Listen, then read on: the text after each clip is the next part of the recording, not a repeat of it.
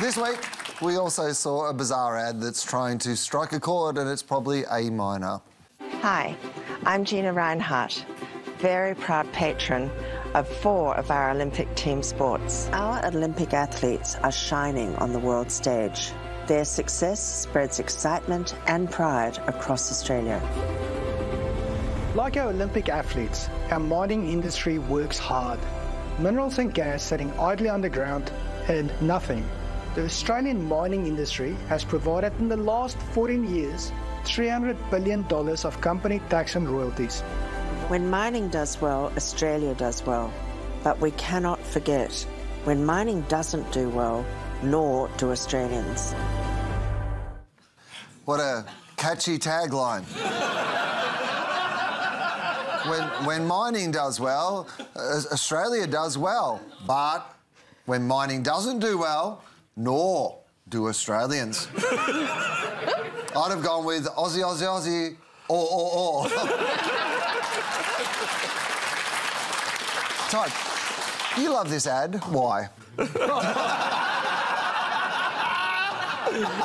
Oh, well. Yeah, it's pretty bad, isn't it? It's the worst. I mean, worst. this, this is the problem with advertising is that you can buy it. Uh, and uh, Gina Rinehart and Clive, and they have used advertising for their own political means. And, and it, this is, I'm okay with the, there being an ad that's promoting mining and there being an ad that promotes the Olympics, but she's conflated these two things together. Uh, and it, it, it makes it super irritating. And it, it's referred to as sports washing. It's been around for a long time. People use sports. You, you see fossil fuel companies disproportionately use sports in this country. So coal, oil, gas, they're all over our, our, our athletes. They're all over the jerseys. They're all over the, the grounds. Uh, and the reason is it's an association strategy. So what they want is they want to pull the goodness of the Olympics, the goodness of athletes training and overcoming barriers, the goodness of winning, and they want that to wash away some of the negatives that they have as businesses. And this is a a kind of horrible example of someone overtly using that. And what, what irks me most about the ad is the threat at the end. But let's be clear on what she means, because she's not the, the ad, for all its uh, horrible execution, uh, sh- it is fairly clear. Which is that if you don't uh, support mining, I won't support athletes, and we won't do well at the Olympics.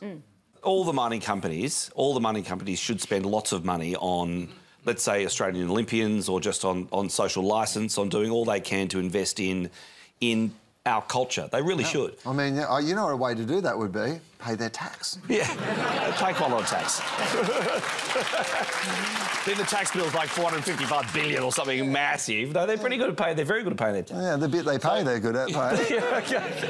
So I, I think that's a really important part of the big Australian mining businesses and, and the other big businesses as well. They should invest in Australian sport, etc., Australian culture. And I've got no issue with them advertising. I think that's a good idea. But at some point in time, someone has got to knock on the door and say, Mrs. Rinehart, no, this is not a good, this is not a good execution. Because you, in an advertising sense, you're competing against BHP. BHP do some really good advertising. Like, you know, it's up there. Rio Tinto is now advertising. Their advertising is up there. And of course, other corporate brands like a Shell, for example, they do very good advertising. So there's an advertising competition element to this as well, which I think has been ignored by Roy Hill and those that are advising Mrs. Rinehart. I'll give it some advice. Hmm. You banned that painting because you thought it was bad for your image. You made this one.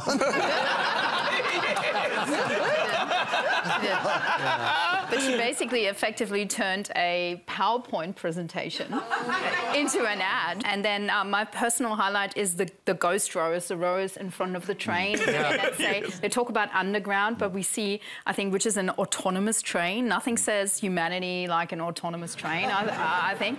well, those And- ghost rowers were actually killed by a train.